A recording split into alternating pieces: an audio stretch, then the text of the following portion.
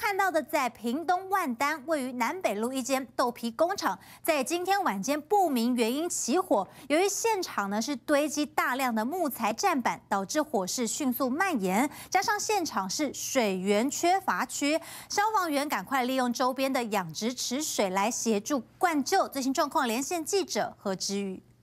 好的，诸位观众，屏东万丹南北路上的一间豆皮工厂，二十三号晚间七点半的时候发生大火。从画面当中，你可以清楚看到火势烧得相当的猛烈，橘红色的火光是照亮整个夜空。工厂内是堆放了大量的木材，由于是天干物燥，导致火势迅速的蔓延，一发不可收拾。再加上现场是水源缺乏区，也增加了抢救上的困难。来看一下当时情况。消防队员获报之后，发现火势实在太大，但水源不足，赶紧利用周边养殖池的池水来协助灌救，才将火势给控制住了。目前消防队员正在进行残火处理中，所幸豆皮工厂的工作人员都已经下班，没有任何人员伤亡。以上现场最新，把镜头交还给棚内。